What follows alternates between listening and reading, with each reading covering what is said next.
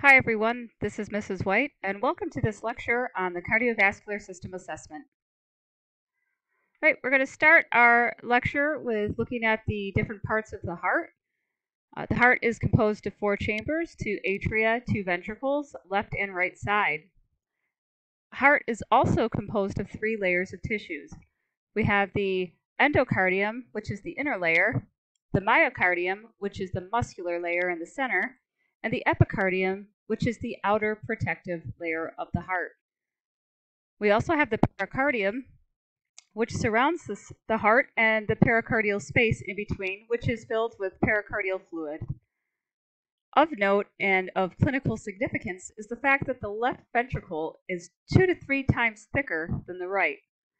And you have to ask yourself why. Why would we do that? It's because the left ventricle is tasked with providing oxygen and blood-rich oxi- uh, I'm sorry, oxygen-rich blood to the body. So it has to be stronger to get the job done. Now, blood flows through the heart, uh, enters the right side from the rest of the body, from the superior vena cava and the inferior vena cava into the right atrium, through the tricuspid valve to the right ventricle, which it then goes into the pulmonic vein,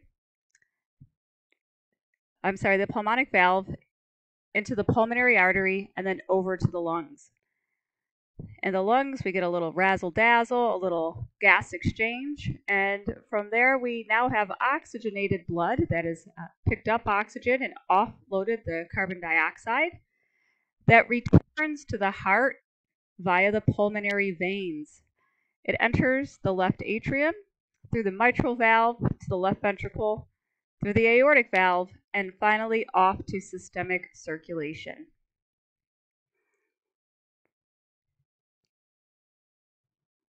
So here's a look at where the heart valves are and you should become familiar with these valves and where to auscultate them because that's a very important part of being a nurse is being able to listen to the chest, the thoracic area at various points and understand what you're listening to. So you have the, uh, the mitral valve, the tricuspid valve, the pulmonic valve, and the uh, aortic. So also known as the semilunar valve. Now the heart needs oxygen just like any other organ, so it is uh, given oxygen via two major coronary arteries, we have the left coronary artery, or LCA, and that supplies blood over to the left atrium, the left ventricle, uh, the, the septum, and then part of the right ventricle. And then you have the right coronary artery branches that supply the right atrium, the right ventricle, and the back half, the posterior left ventricle. And the AV node and the bundle of His are often are also uh, taken care of by the RCA. And then the coronary veins drain into the coronary sinus where they uh, join circulation to go back. So if you look at this picture here, you can see the right and left coronary arteries as the major arteries and what they're feeding. And then you can see on the right hand side, represented by blue, the cardiac veins that drain into the coronary sinus and go into the right atrium. All right, so what does the heart do? We know that it beats, and the question is, how does it beat?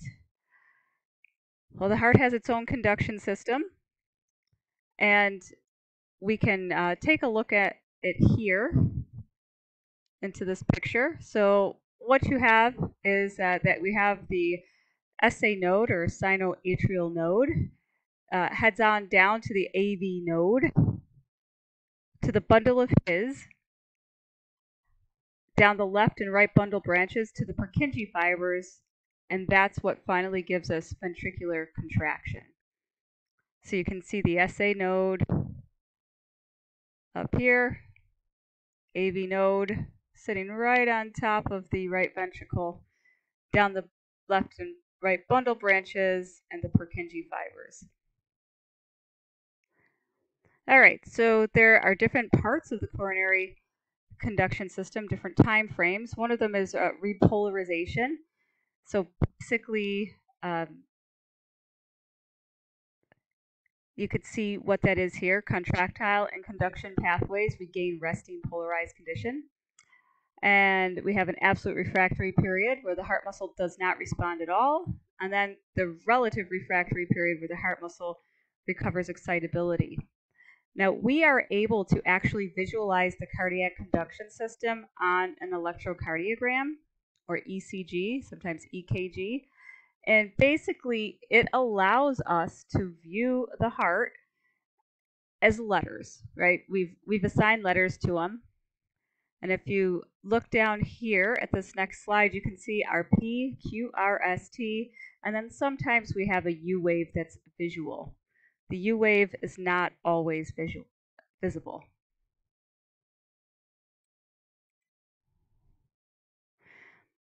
All right, so let's see what we have here. So the P wave represents the firing of the SA node and the depolarization of the atria. The QRS complex is the depolarization of the AV node throughout the ventricles. So that's the actual contraction of the ventricles. The T wave is repolarization of the ventricles.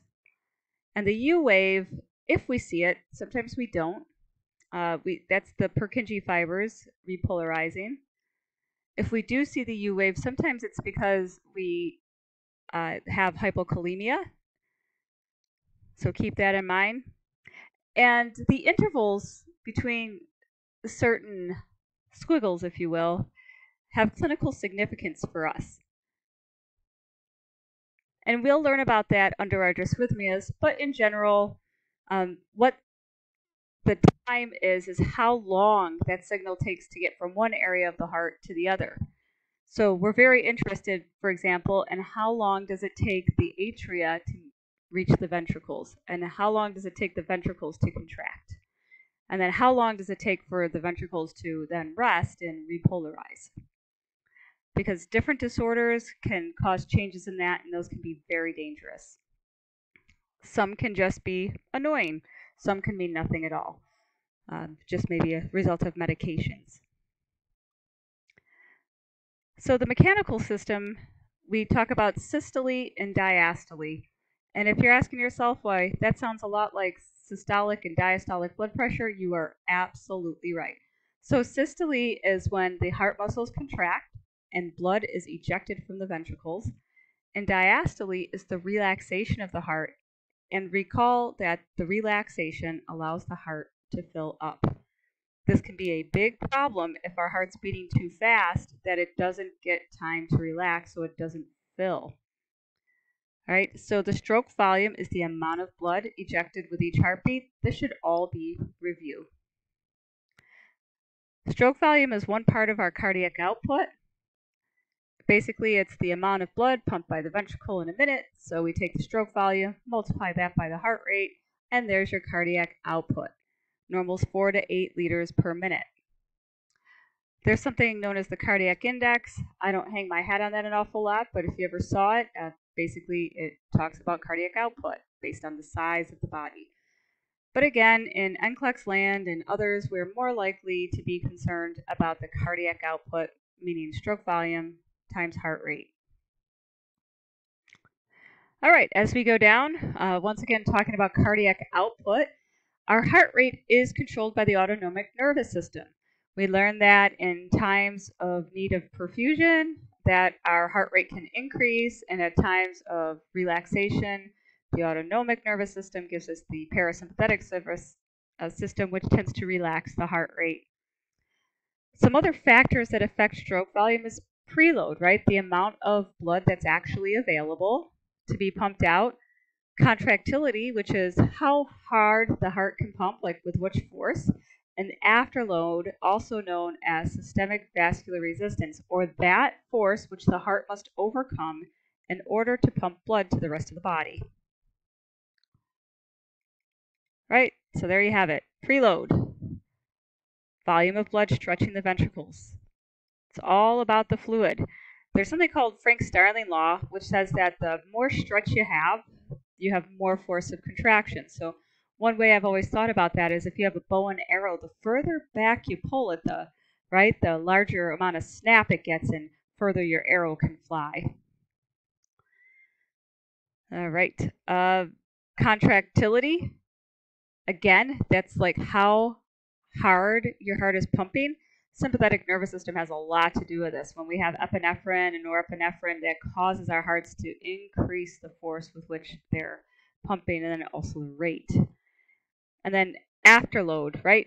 So things that affect afterload might be the ventricle, how much the blood pressure is. And re remember that it says down here, and you can read it, but as we have chronically elevated blood pressure, that leads to more systemic vascular resistance, which is the harder the work uh, the heart has to work to kind of overcome it, and the muscle becomes hypertrophic, the cardiac muscle. This is not good overall. And then cardiac reserve, right? So this is what we take for granted many times. It is the ability for our cardiac output to increase in the response to some sort of situation with our health or illness. So people who are exercising to be able to bring that heart rate up and give us better output. People who experience stress and panic, right? Can your heart rate keep up? And in times of low volume? Can the heart augment the way it's pumping and the rate to keep your blood pressure up? We can see this as compensatory to shock a lot of times, and um, others is just being healthy, right? So here's a question for you. Patients receiving a drug that decreases afterload, to evaluate the patient's response to this drug, what is the most important for the nurse to assess? You can pause and think about those answers, and when you're ready, press play again. All right, and here you have it. It is afterload. All right, so afterload is affected by the size of the ventricle, wall tension, systemic vascular resistance. All right, so now let's take a closer look at the vascular system, including the blood vessels, uh, which reside in the heart. So blood does circulate from the uh, left side of the heart using arteries and arterioles, except for the pulmonary artery, right? That's the only one in the body that kind of bucks the, uh, the rule here. We have capillaries, and then we have venules the right side of the heart. You can see here the difference between an artery and a vein. Arteries have thick, muscular, and elastic middle coat, and the veins tend to be thinner and a little bit wider, right? They don't have as much snap. So arteries have uh, thick walls of elastic tissue that handles the pressure. They re recoil, they push the blood forward, and large arteries like the aorta and the pulmonary artery, they also have some smooth muscle in them. The endothelium is the inner lining of the vessels. That's what holds the uh, homeostasis, promotes blood flow, inhibits coagulation. And any disruption of the endothelium can result in coagulation and a clot. Capillaries are a thin wall of endothelial tissue. They don't actually have elastic or muscle tissue, and they connect arterioles and venules together, and it helps exchange nutrients and those metabolic end products. Remember our veins, they're thin-walled, large diameter, low pressure, high volume. They have valves to help move the blood toward the heart. So, some things that affect the amount of blood in the venous system would be the arterial flow, the compression of the vessels, uh, any change in thoracic or abdominal pressures, right atrial pressure.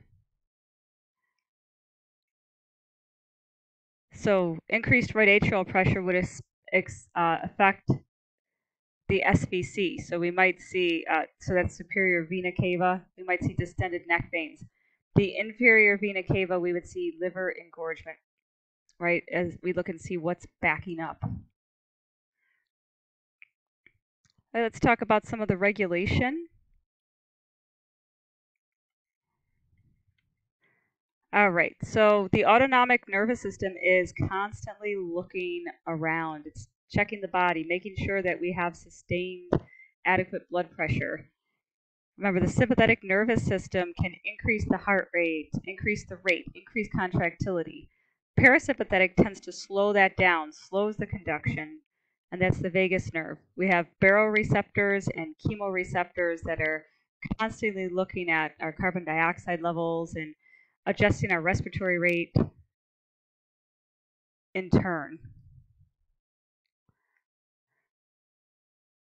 A lot of our baroreceptors are at the aortic arch and the carotid sinus, and they are sensitive to stretch or pressure in the atrial system.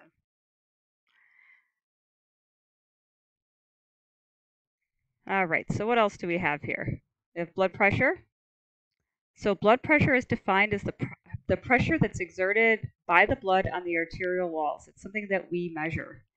So we look at the systolic blood pressure. Uh, normal would be less than 120. And diastolic is uh, basically the second sound we hear when we listen to a blood pressure. And normal would be less than 80. So remember some things that affect our blood pressure are cardiac output and systemic vascular resistance. Now we have all different ways that we can measure a blood pressure. Uh, we can do it invasively using things like uh, arterial lines um, that are attached to a transducer. We might do something non-invasive. This is the one that you guys are all familiar with, our sphygmomanometer and the stethoscope, so the blood pressure cuff. So important in order to get the right uh, blood pressure reading, you must use the correct size and the correct positioning. So ask yourself, how should the patient be positioned to get a good blood pressure? Hopefully you know the answer to that. If you can't spit it out right now, then I want you to go back to your textbooks and take a look at how to measure blood pressure. And the sounds that we hear are called uh, Korotkov sounds. So the first and the fifth. So the first sound is the systolic, and when the sound disappears, that is the diastolic. So we can use that good old fashioned blood pressure and stethoscope, or we might also use an automated device, which we see a lot of times in the hospitals now, and even in outpatients and nursing homes. All right, so we've got the pulse pressure and the mean arterial pressure. So the pulse pressure is the difference between the systolic blood pressure and the diastolic blood pressure. That's especially important to us because there are times that, based on what's happening with the person's body, we might see a narrowing or a widening pulse pressure. But the normal pulse pressure is about third of the systolic blood pressure. And then we have the mean arterial pressure. Remember, that's as easy as 1, 2, 3, 1 systolic plus 2 diastolic, all divided by 3. So we uh, target a map of 65, but we will accept 60 or better to make sure we are perfusing those vital organs. All right, so let's talk about the old folks, right? So the risk of cardiovascular disease definitely increases with age. We have um, increased coronary artery disease, that is your most common problem, and that is due to atherosclerosis. Right, so cardiovascular disease is the leading cause of death in adults who are over the age of 65. And these changes can be a result of aging, disease, environmental factors, and lifetime behaviors that uh, now are starting to catch up with the patient. So some of the things that happen, um, you can look on this slide when we get older, is that we have uh, increased collagen, decreased elastin, so it leads to kind of um, enlargement of the heart, hypertrophy. They have a harder time recovering their heart rate, so they have a decreased response to stress. They end up with uh, more murmurs because those valves are thick and stiff. And they also lose their pacemaker cells. The number decreases, so it's more likely that a person would uh, be older to and have a dysrhythmia than if they were younger. And then also our beta adrenergic receptors. So this means that they have a decreased stress response, right? As if it isn't already a problem, um, we add medications into the mix. Some of the other things that happen, let me move this little lady over here so it's a little smaller so you can see. Oops, let me put her down there. All right, perfect. Uh, the blood vessels thicken, they're more uh, less elastic, so you end up with increased blood pressures. Uh, so increase in the systolic, but really no change in the diastolic. Uh, they end up with incompetent valves in their lower extremities, especially. We see that in the way of edema and sometimes even venous stasis. They have orthostasis, so they're going to uh, have trouble when they get up. They might be more prone to falling and fall risk for hypotension. They have postprandial hypotension, so after they eat, their pressure drops, and that gives them an increased risk of falls. And also kyphosis, right? So look at this little lady with her curved back and what that effect might be on the vascular system of the, of the heart. All right, so now we're going to move right along to assessment. So under our physical exam, you want to take a look at how does your patient look? Do they look like they're perfusing well? Are they um, dressed appropriately? Are they sweating? Are they not? Uh, you want to look at all those signs of perfusion we have and how they look overall. Are they well? Looking at the vital signs, um, get their blood pressure, and you might also need to check their postural blood pressure and heart rate to check for orthostatic changes. Inspection, uh, we want to look at skin color. We want to make sure that they're at their baseline for their uh, for their ethnic division. Make sure they have good hair growth. Remember, uh, hair distribution would be uneven in times and areas where we have um, decreased arterial, uh, decreased art arterial supply. We're going to look for any venous changes, looking for any edema, look at their fingers for clubbing, for chronic hypoxia, any lesions definitely look for JVD. So one thing to note when you're looking at JVD is that your person actually has to be sitting in the correct manner, right? They have to be 30 to 45 degree angle because if anybody's laying flat, the J- JVD is common finding when they're flat. It's really not clinically significant. Right? JVD can also happen if a person does the Valsalva maneuver. So basically, you want to make sure they're positioned correctly. And under palpation, we're going to be looking at the temperature of the skin. Is it warm? Is it moist? Looking at edema, pressing your fingers down, your pulses, and we want to check where they're at, and those are the arteries, and we grade them basically zero for absent to three plus for bounding. So normal is two. We look for their capillary refill and bruit. Right, and under our vital signs, we're looking for, um, we would look for something like a pulse deficit. A pulse deficit is the difference between getting their apical and radial at the same time. And if there is a pulse deficit, meaning that you hear more beats than there are transmitted to the radial artery, then there could be a cardiac dysrhythmia, and therefore we might to have them on cardiac monitoring. All right, so here's where we uh, look for all of our arteries, the carotid, brachial, radial, ulnar. Uh, we don't generally check ulnar pulses, so you'd want to focus on radial, femoral, popliteal, PT, and DP. So even though the posterior tibial pulse, you, you almost want to wrap your hand around and go on the outside of the foot. Guys, it's in the medial malleolus, so you definitely want to make sure that you are on the inside of the leg behind the ankle bone. Okay, so medial malleolus. All right, and here are our landmarks uh, for listening to our heart sounds. Where we find our aortic valve listening, pulmonic, Erb's point, the tricuspid area, and then the mitral area, which is the apex and the point of maximal impulse. I always remember this by um, All People Enjoy Time magazine. So the aortic, pulmonic, Erb's point, tricuspid, and then mitral. So the PMI should be felt at the intersection of the fifth intercostal space and the left midclavicular line. If we find it elsewhere outside of those landmarks, it would indicate potential cardiac enlargement, which we might see in something like LVH or left ventricular hypertrophy. So anytime that that PMI is outside of where we think it's going to be, it could be an enlarged heart. All right, so under the thorax, you definitely want to do your inspection and palpation. And remember, it's All People Enjoy Time magazine. We're going to be listening through for basically any abnormal thrills, bruits. The abdominal aorta is in the epigastric area. And what we're doing is we're looking for visible pulsations. Now, you have to look at the body habitus of your patient so if somebody is thin, it's very common that we might see that visible pulsation.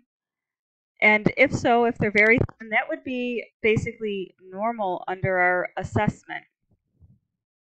But um, unless there's any other abnormal findings, things like bruit pain or hypotension with the pulsation, then again, it's, it's a rather normal finding in our thin individuals, right? Because their aorta is closer to the skin surface. All right, looking at our heart sounds, right? So S1 is the closure of the tricuspid and mitral valves. It's that lub dub sound. So it's the lub of the lub dub. S2 is the closing of the aortic and pulmonic valves, which is uh, the dup sound. And you do need to listen in sequence, right? Using the diaphragm. And the current 11th edition of the Lewis textbook, that is diagram 31.7 so remember our pulse deficit. Palpate the radial pulse, listen to the apical. They should match. If they don't, you could have a dysrhythmia. All right, so some of the other rhythms that you might have. Uh, I'm going to just switch up here for a minute. We have the um, split S2, uh, S3 and S4 so remember, um, S3 and S4 are best heard with the bell. Also, best heard with the bell would be any of our gallop rhythms, so because they're low pitched as well. If we're looking for sounds that are associated with mitral valve, then it's best to turn our patient onto the left side because that brings the heart closer to the chest wall. So again, depending on what you're listening to, whether it's um, a high pitch like S1 and S2, you'd want to use the diaphragm, and low pitched, you would want to use the bell. All right, and this is just a picture of when we have the echocardiogram, what those looped up sounds are.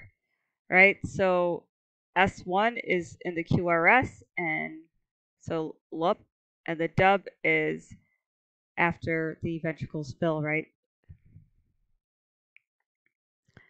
All right, some of the additional sounds that you might hear might be murmurs. All right, so anytime you hear an abnormal sound, which you think might be a murmur, you want to be able to tag it by timing, location, and what position the patient is in. Sometimes you might hear a bruit. So a bruit is a sound created by turbulent blood flow in the artery. Thrills are those palpable ones, right? So think about an AV fistula where we could um, hear the bruit but feel the thrill. So a murmur is a sound that's caused by turbulent blood flow through the heart.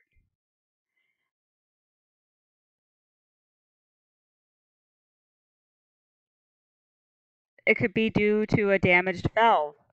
So remember, we want to make sure we know what position the murmur is heard best. So example, if you're sitting and leaning forward, or the timing of the murmur in relation to the cardiac cycle. For example, is it a systolic or a diastolic murmur?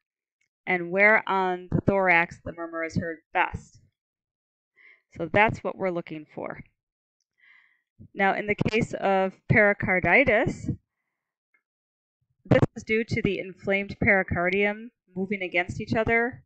Um, and the best way to listen to this is at the apex with the patient upright, leaning forward, and holding their breath. So, on the subject of murmurs, here is the areas that you are going to hear murmurs. So, all people enjoy Time magazine, do it in order, um, and the different causes that we could see right? So if you hear an aortic murmur, it could be from the aortic valve, so aortic stenosis. Pulmonic could be due to an atrial septal defects or pulmonic stenosis. Tricuspid, um, it could be either holosystolic or systolic or diastolic. Uh, Erb point, whether it's systolic or diastolic, and then the mitral area. So again, this is from osmosis, that picture. So we put them for that. All right, so diagnostic studies of the heart. One of the most common is the troponins, and depending on where you're at, you might use troponin 1, troponin 2, troponin T.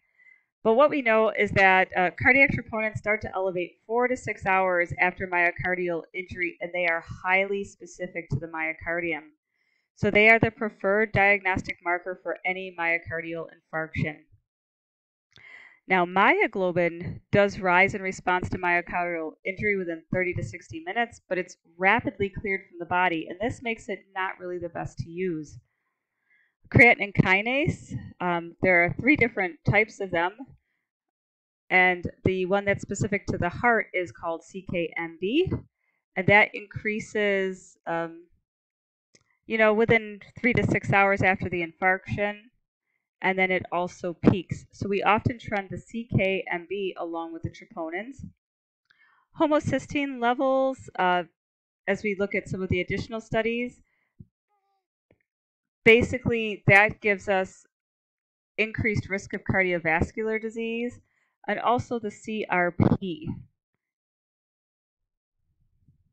Some of the other blood studies we might do would be those peptide markers that help us look for um, indications of heart failure.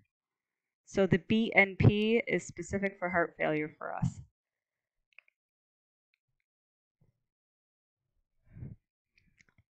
For cardiac workups, we also we also want to look at the lipid panel, and we have triglycerides, cholesterol, and phospholipids, and then lipoproteins. So you should go take a look at the lipids, look at the normals, um, the difference between HDL and LDL, and I remember that because we want higher HDL to decrease our cardiovascular risk, and we want lower LDL. All right, so let's try a question. Patient arrives at the urgent care center after experiencing unrelenting substernal and epigastric pain and pressure for about 12 hours. We review the labs uh, with the understanding that at this point in time, a myocardial infarction would be indicated by peak levels of what?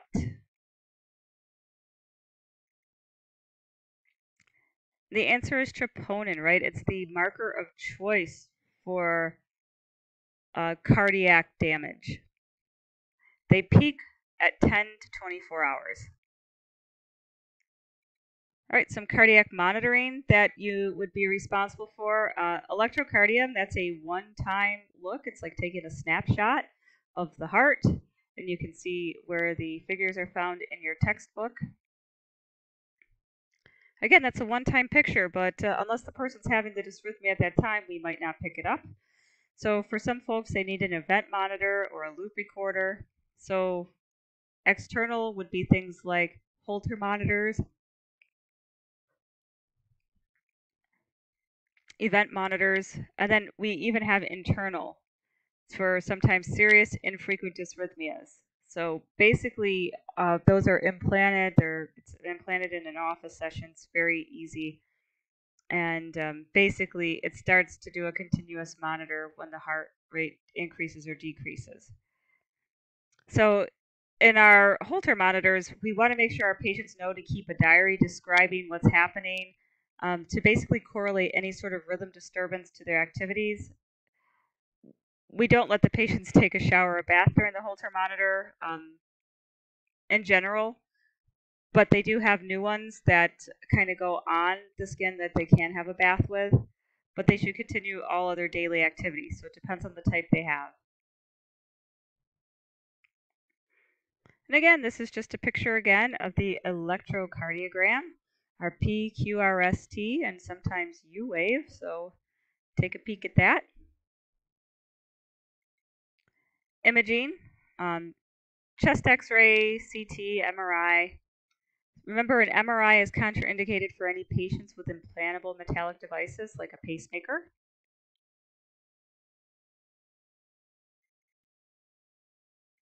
Echocardiogram is a non-invasive test that has us uh, taking a look at the structures and function of the heart. This is how we get our measures of ejection fraction, right? That is the amount of blood ejected during each beat. It looks at motion wall, uh, relationship of the structures. We could even get color flow, which I'll show you on this one here. See, here's color flow. Lets us see how the blood's actually moving through. Some other tests that the patient might have to undergo would be like the stress echo. Basically, it could be an exercise or non exercise test, and anytime we start to have any sort of dysrhythmia with a stress echo, we want to make sure it stops. We might do a transesophageal echo. Now, for that, they're actually going down through the esophagus And remember that a person who is undergoing that sort of procedure would need to be NPO for six to eight hours before and check the gag reflex after before you feed them, right? So we prefer to look at TEE's because think how close the heart is to the esophagus. All right, so uh, looking at the CT, you might use a CTA which um, is non-invasive to just injecting dye through the regular IV, versus the calcium scoring screening, which is also very non-invasive.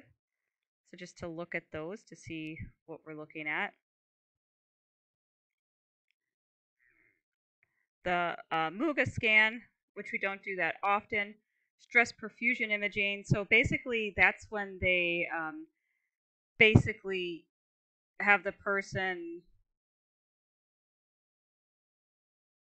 the one I'm most familiar with is when the person exercises and they click it on the table and do a, a an echo at the time, like a stress echo. If they can't exercise, we give medications to sort of mimic it. Cardiac cath is invasive, all right? So these are the ones if somebody's having a STEMI or something that they need to go to cardiac cath, or perhaps they have a cardiac cath because they're they're coming in with other problems. So those are more non-urgent, we schedule them as normally outpatients. Um, they're usually divided into right-sided and left-sided. Right-sided heart caths are usually pretty diagnostic. They just are looking for things. We're left-sided, um, we often are doing interventions in the left side of the heart. So remember, it's invasive. It goes through an artery, uh, usually the femoral, but it can be radial, could be brachial. So following cath uh, cardiac catheterization, we need to be on the lookout for bleeding. Bleeding, right? That would be our, our big killer. Um, person could be allergic to the contrast, and when they do get contrast, we should let them know that it's going to feel warm. That's normal. Um, lots of problems, but again, in the first 24 hours after, it's going to be bleeding. So our process for this. Uh, pre-procedure to assess any allergies, make sure they're not allergic to contrast dye, get their vitals, make sure they're nothing by mouth. They are awake during the procedure, but they do get local anesthesia. Make sure their labs are good. They may get some sedation medication, but they are not unconscious, right? They might just get uh, something to help them relax. And post procedure, you want to definitely look at um, how they were doing to before. Look for signs of PE. Depending on which artery they went into, you're going to have to do a good vascular assessment distal. All right, and uh, make sure the patient understands their discharge instructions and what they can and can't do.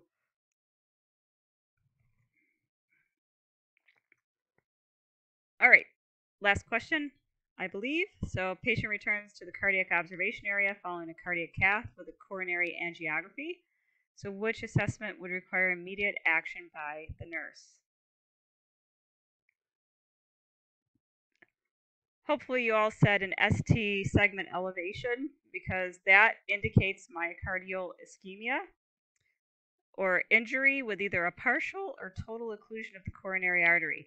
This would require immediate action. These actions would be looking for an assessment of chest pain, getting a 12 lead EKG, possibly nitro or morphine, notifying the healthcare provider. Option A would need further assessment, but it's not critical unless the patient's symptomatic, meaning they have chest pain, shortness of breath. Uh, B and D are normal findings, so do not be led astray. Okay, everyone, so that's the end of this. So I want to say thank you very much for watching. Let me put this on here. Thank you. All right, if you like what we're doing, so hit the like button and maybe give me a subscribe so that I can grow my channel just a little bit. I can't even write. Subscribe, subscribe. And remember, this is Mrs. White. I'm a nursing professor and I love what I do. Thanks a lot, guys. I hope you have a great day.